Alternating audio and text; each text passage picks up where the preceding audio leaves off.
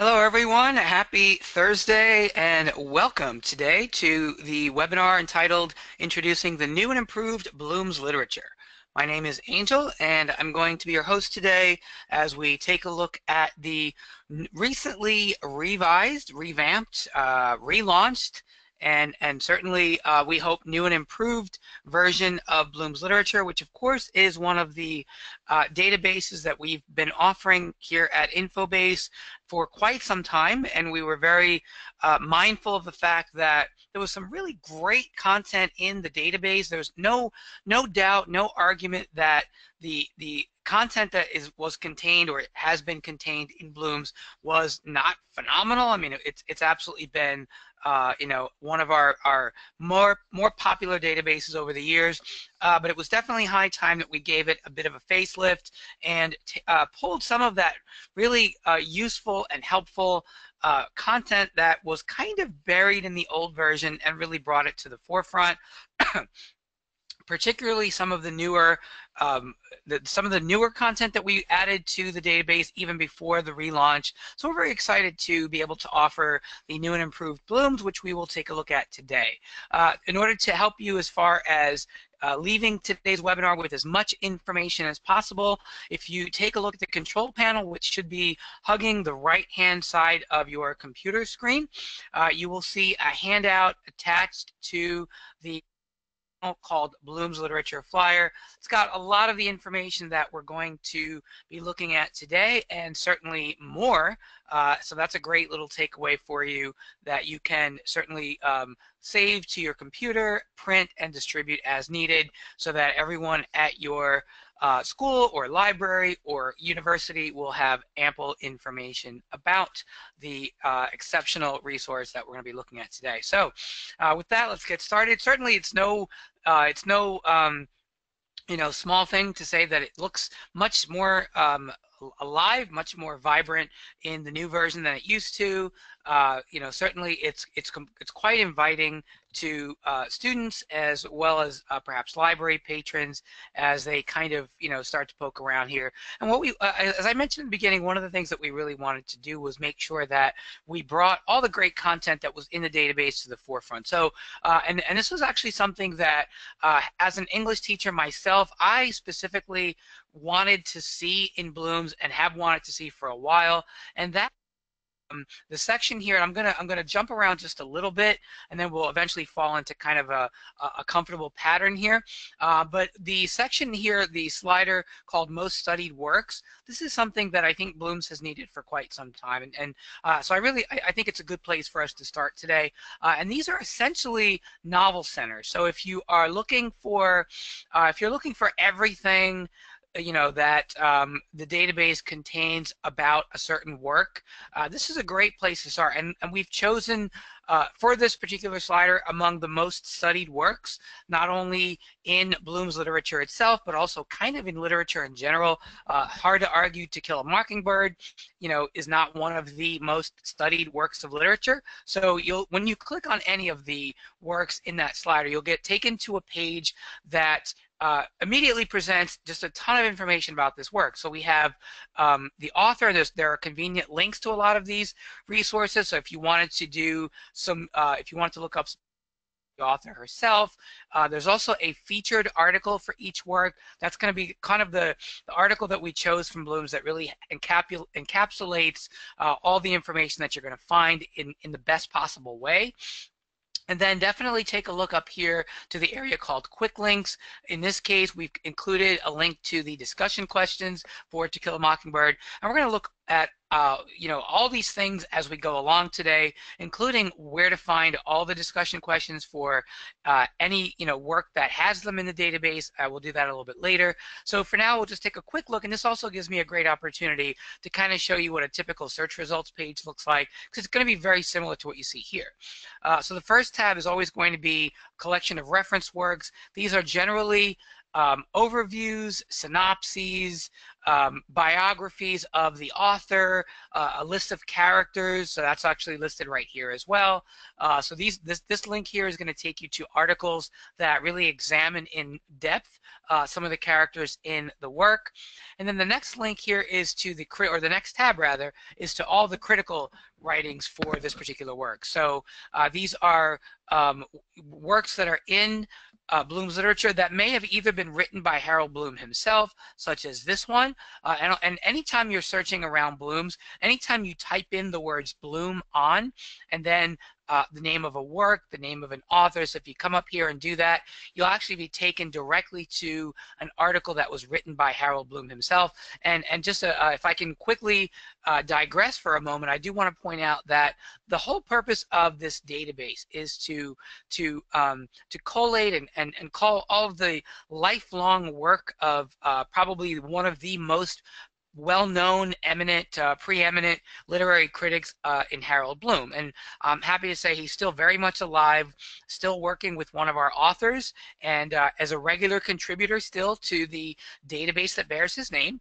Uh, and also, besides the fact that we have uh, crit critical essays written by Bloom himself, we also have a number of articles from uh, collections of literary criticisms or volumes that were edited by Bloom. So he, in some way or another, uh, whether he specifically chose some of the critical content or wrote it himself or edited the volume that it's in, uh, Bloom really has touched on just about every aspect of the database. So uh, you know, uh, if you are a huge fan of Harold Bloom, that's certainly going to be a, a, plus in your mind. And we certainly realize that Bloom also has some detractors, uh, people who feel as though he has selected, for for example, his canon, uh, a collection of works that were very specific to certain cultures and so on. Um, but I think it's really hard to argue that, um, you know, Bloom hasn't been one of the preeminent critics of our time. So uh, the works of criticism, uh, you can actually actually narrow your results from when the works were written, or you can just simply scroll here and click on any one of the articles that you see. So, uh, for example, if we were to click on the article Bloom on To Kill a Mockingbird, you'll see that um, you know there are a number of options once you get to any article page. You can actually save the article, you can print it. Uh, one of the newest features of Bloom's is the ability to uh, make use of either, excuse me, either the record URL or the embed code, so that's another option for you.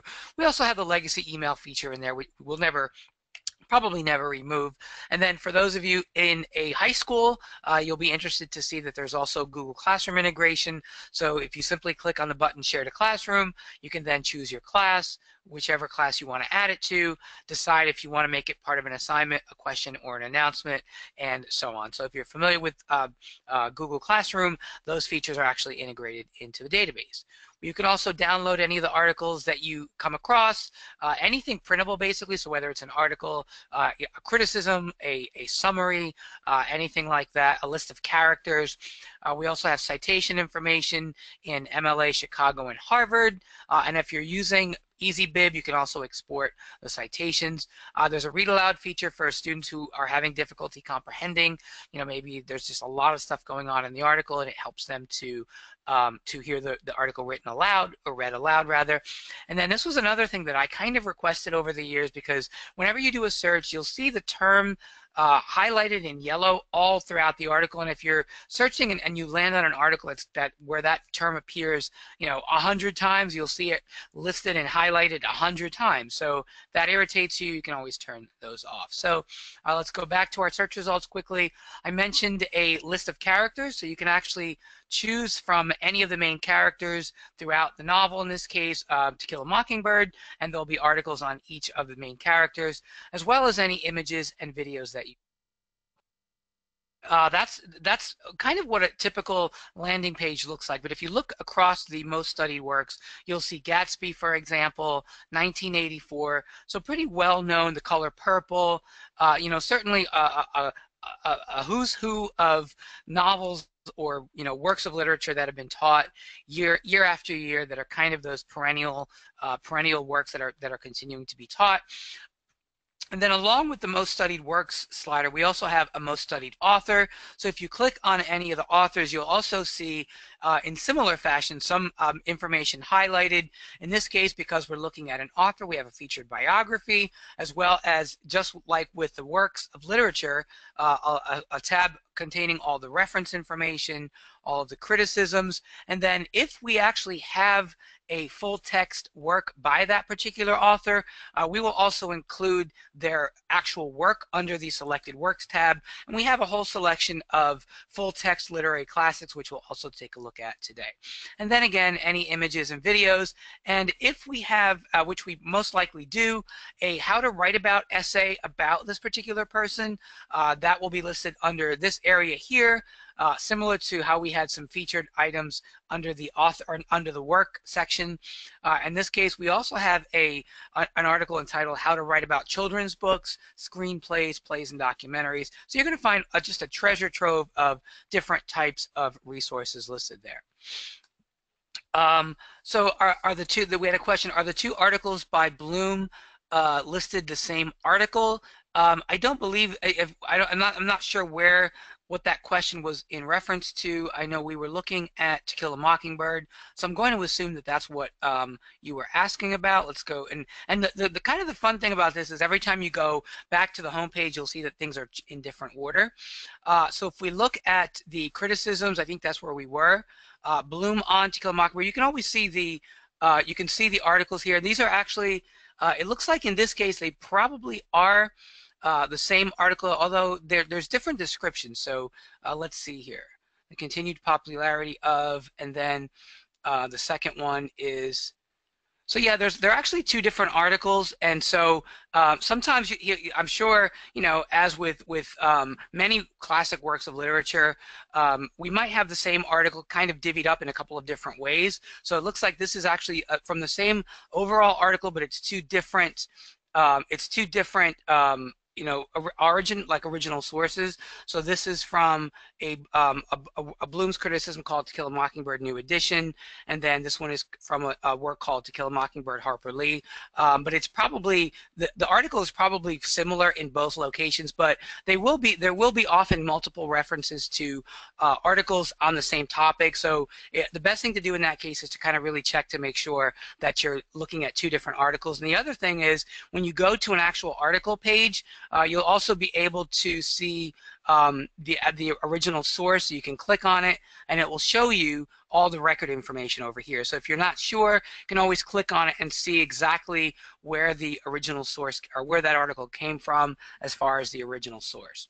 Uh, so the other sliders also include uh, things like most studied characters and featured videos. I mean, obviously, again, just like with the various works of literature, there are certain characters that seem to be studied, you know, over and over again, perennially throughout the years, including uh, Shakespeare's Hamlet.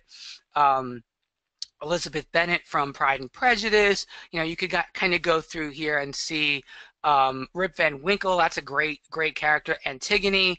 Uh, so you can see, you know, kind of where that list particularly we also offer a series of featured videos which are going to direct you to a full text, or, or rather a full um, full length stage or screen adaptation of a certain um, work of literature. So uh, those are what the some of the information that you're going to find in those various sliders. Uh, you can always browse, and basically the way Bloom's has always been designated, uh, the content in Bloom's has always been broken into three general areas, and that is authors, works and characters. So that basically hasn't changed. The, um, it's certainly the same in the new iteration of Bloom's. We have our complete author index where you can narrow your author uh, search by specific criteria, or you can simply type in the name of an author directly into the search box. So let's say uh, we were looking, for example, Dickens.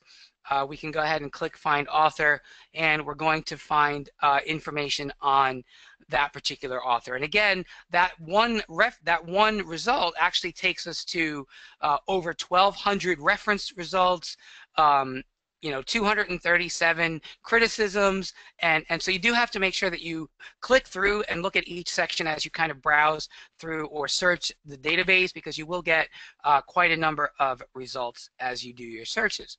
Uh, so the sim similar idea for the works index you can do a you can narrow your results by choosing a specific type of work either a novel or a work of nonfiction, uh, specifically an autobiography, or you can designate a certain time period for your search, or you can directly filter your search by author's name uh, and then go right to a particular uh, author. And then the character index kind of looks similar to the way it used to look. I don't think they did a whole lot here um, because really searching for a character is, is, there's really only certain ways you can do that. Uh, the, na- the main way is to search by character's name, but you can also search by a work. So for example, um, I in, in college I studied Uncle Tom's Cabin. Whoops! If only I could type. Uh, so if, when you start typing in Uncle Tom, you'll see a whole list of characters from uh, that particular work. So you could very easily kind of choose any one of those characters, uh, and and you don't even have to finish typing in the, the, name of the work. It's going to actually come right up there for you. Uh, let's see, just doing a quick check for questions. Uh, has the search functionality changed for changed any for literature criticisms? Uh, once you get to the criticism tab, uh, for a selected work? Can you search within just criticisms? Uh, there isn't a, uh, a secondary search mechanism. So let's say if we were looking at, uh, you know, th again, this keeps changing. So we'll just look at Jane, uh, Lord of the Flies here. So there isn't another, like a secondary search functionality here.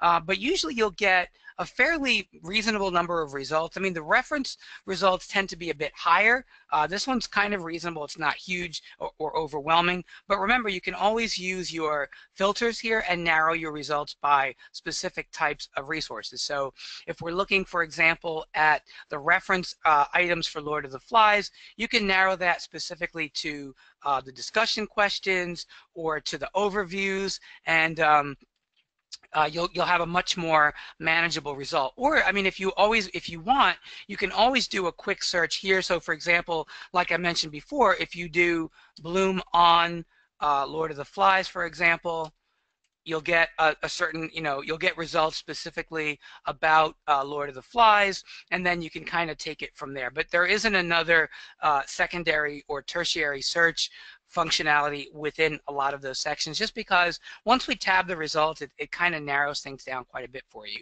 uh, as you're doing your searches. We don't we don't want it to get you know we don't want people to get completely lost in uh, multi-layered searching and then kind of forgetting uh, you know where you where you were and then and and end up someplace that you might not want to be. So we we I, I think the way it is now actually works pretty well um, but if you you know if you have suggestions we definitely take them. If you have experience with other resources that do that um, I haven't really seen that feature available in too many different um, places, but it's certainly something to, to discuss. All right, um, so moving right along here, we also provide, uh, I'm just going to quickly point these out. It's not, not nothing huge. Uh, curriculum tools are basically articles for both students and educators to kind of guide them on uh, certain paths. For example, for students, if they're doing research, um, there's some information on citing sources, uh, kind of understanding what plagiarism is, which, you know, even no matter how um, many times it's taught, no matter how many times it's clarified, there are still students out there who just struggle with knowing that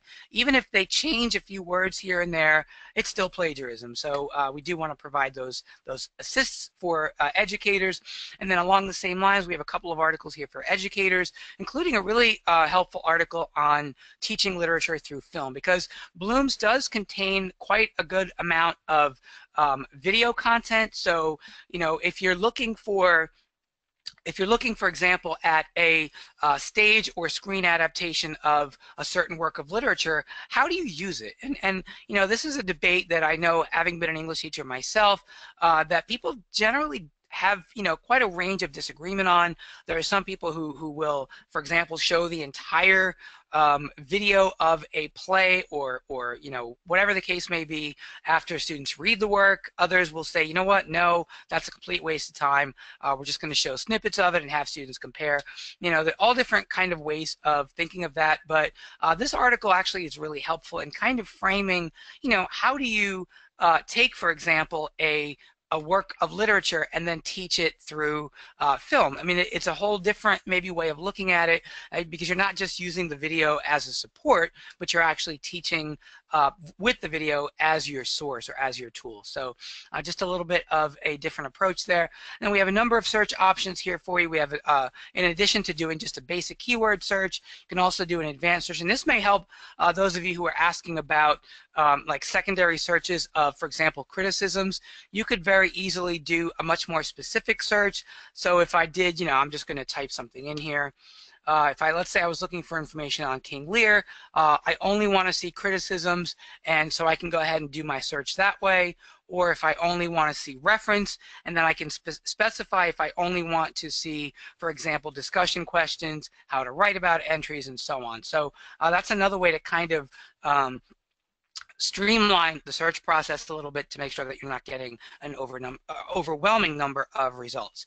Uh, so now we get to the more fun part of Bloom's literature, which is again, what I said in the beginning is that we have all this great uh, content in Bloom's and, and not just the articles and the criticisms and the reference works and so on, but we have a, a number of support uh, supporting resources that previously were kind of buried and you know we're the first to admit it.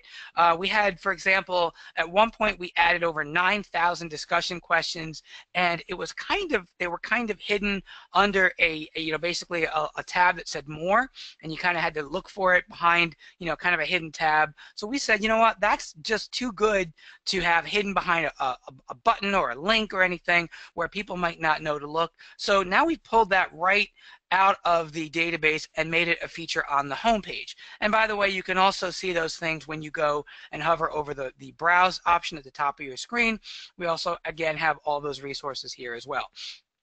Um, but also, uh, uh, we're going to circle back to those, but very quickly, I want to point out a couple of, of uh, you know, major um, additions to Bloom's, one of which is the Shakespeare Center. So this was um, an idea that we had, at one point we were thinking about actually making a separate uh, Shakespeare research database. So it would have been its own its own resource uh, apart from or you know completely um, separated from Bloom's. But we really felt like Bloom's was more than more uh, you know we kind of landed upon the idea that Bloom's was the perfect home for something like that. So we ended up adding all that great uh, content that we had directly into Bloom's literature. So now it's part of the database.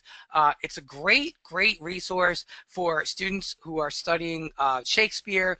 And and what this does is it actually breaks down uh, every aspect of all of Shakespeare's works, including uh, an entire section dedicated to each one of his plays. Uh, and these sections include things like overviews. And these are, again, they're, they're linking to content that you could also find if you just basically do searches, uh, but it's putting it all in one location. So you have your overview, uh, which includes a list of characters, um, any difficult might encounter while studying the play, key passages, uh, difficult passages. I mean, some of the plays really are, um, you know, they, they, they're challenging for students. Um, a critical introduction, uh, modern criticism, and critical controversies. So that's a great place to see kind of, you know, what people are thinking about these plays today. And speaking of which, uh, there's an actual section called uh, the play today, which puts a lot of these plays, which are you know going on uh, 500 years old now, in a more modern context. So what you know, how can we as 21st century citizens relate to these these plays that were written you know so long ago and and have ideas that we really don't experience and, and you know may, might not be able to relate to, to so uh, that puts you know these these very old uh, in, in, relative terms uh, works of, of, of literature uh, into a more modern context. And then we also have some related re resources like specific Bloom's criticisms about each of these works, uh, critical essays, how to write about, and this is again a, a new um, section that we've added to the homepage, and we'll go and see that too, uh, discussion questions, and so on. Uh, and then we also have for each play an actual for, a full text version of the play, so that's listed under the full text work, uh, and you can go from one act to the other and back and forth very easily. And also, if there's a video for that particular play, which it's there's there isn't one for every play at this point, um, but if there is, you'll be able to click on the, uh, the the image here on the left, and it'll actually take you directly to the video itself. Uh, and then we also have an, a, an entire section of information about Shakespeare. So everything from uh, the, the language used in Shakespeare and the history of the authorship controversy, which of course many people don't actually believe that the works that we attribute to William Shakespeare were written by Shakespeare. Uh, when I was in college, I actually did an article on how um, one of the people who they thought might have actually written Shakespeare's plays was a, a gentleman by the name of John Lyly, who was a, a, contemporary of Shakespeare's, and very possibly, you know, between the the uh, because of the writing style similarities and and just the fact that they were contemporaries of each other, and um, you know some of the some of the the similarities in some of their uh, their writings. It was it was thought that he might be among those people who might actually have written Shakespeare's plays. Um, but for now, we're just going to go ahead and assume that Shakespeare wrote Shakespeare's plays, and that's kind of you know the the general path that Bloom's literature takes, which is you know certainly uh, the one we're going to take as well. Um, and then the, those how to write about articles are phenomenal resources, especially for students who might not be entirely familiar with some of these works they're studying. Uh, this is going to direct students to how, um, excuse me, how to write about not only in, uh, specific works of literature. So here's an article on, for example, how to write about the adventures of Huckleberry Finn, but you can also select a specific author. So, you know, if you were doing maybe a poetry study, uh, you could you could look up Robert Frost, how to write about um, Elf or how to write about a number of his um, most well-known poems. So, um, you know, there, this is just a great, great resource for uh, just kind of diving into, you know, some of these authors and works in a, in a, a bit of a more supportive environment. So if students, again, are, are maybe not as familiar with some of these works, uh, that's a great way to, um, to, pro to approach that. Um, and so a, a, few other resources here. We have a link to all the discussion questions that are in Bloom's literature. Uh, now the, the number here you see 2205, that's the number of works that the the, uh, that the questions come from. Uh, and then there, because there are going to be times when uh, you'll notice multiple sets of discussion questions for the same work. You know, we, we took all the resources that we had for all the works that we had and included them in the discussion questions. So over altogether, we've added about 9,000 plus individual discussion questions. And these are, um, you know, sometimes they're short. These, this one happens to be relatively short. If you look for some, you know, well-known uh, works. Let's just scroll down here. Let's see who we have. Uh, two, two, two, two, two. Uh, let's see, we have, let's just say uh, w, uh, W.E.B. Du Bois, for example. So we'll have, uh, we may have multiple sets of questions, um, but you'll see, you might see that some of these are, you know, quite quite detailed and quite thorough. So here are a set of five discussion questions, you know, much more detailed, much more involved. These could also be used as um, um, writing prompts. They could be used as, you know, essay questions for like a, a, a midterm or a final exam, just all different different possible ways to use those. Uh, we also have an entire section of those literary classics that I mentioned earlier. So anytime you do a search for a work, for example, uh, let's just do Beowulf for uh, for instance, you'll uh, you'll see that if we actually have a full text version of that work, it's going to come up under a section called Literary Works. So here's another link to uh, the ebook version of Beowulf, and these are uh, these are um, uh, EPUB ebooks basically. So you can you can you know go page by chapter by chapter here, or however the book is laid out, and then also you can. Um, you know, once you get in here, you can also see all the summary information, all the metadata. Uh, you can share the individual ebooks to Google Classroom, uh, as well as see the actual citation information. Uh, and these are these are actually um, these these works come from the Gutenberg project, so you can uh, you also have the ability to download these. I mean, you that, that's certainly an option, but they are available, you know, 24/7 via streaming. But if you ever have a situation where you think, gee, you know what, my internet might be a little bit slow, uh, I'm going to download this and use it later. Uh, that's perfectly, you know, within your rights to do that. Uh, these are again um, part of, they were, I should say, part of the Gutenberg project. So you'll see about 800 of those. And then the old version of Bloom's divided um, the works into movements and themes. That's still the same. Those those same movements that were in the previous version, and also the themes. Those are still very much the same. Uh, abandonment, for example. Um, you know, community, coming of age, and so on. So those are all there as well.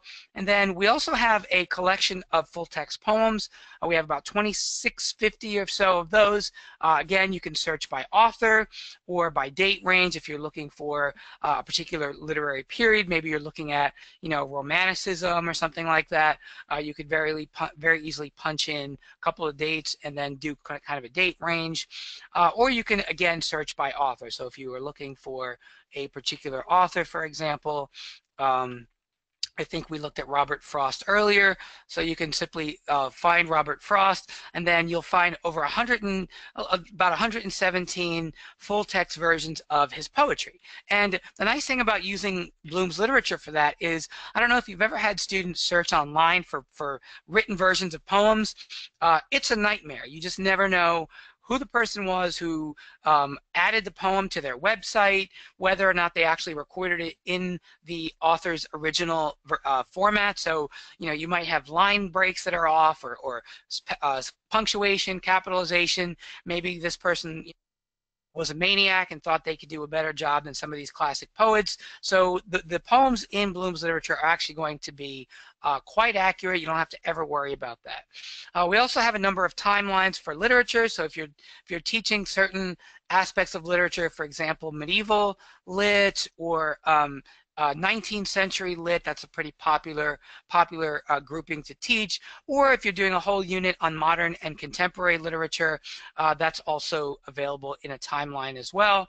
And then the last section here is a um, the entire collection of videos for uh, that are in uh, Bloom's literature. These are a, an assortment of both, as I mentioned earlier, full screen or stage adaptations of uh, literary works, or they could be videos that support the study of a particular work. So maybe there are uh, you're going to find some shorter videos in there.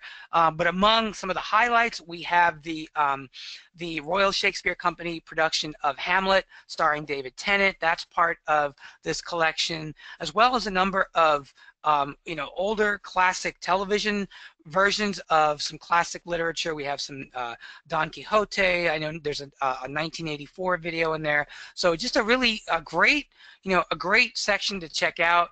Uh, if you're if you're um, interested in showing, you know, whether in whole or in part, uh, there's the um, the uh, Adventures of Don Quixote.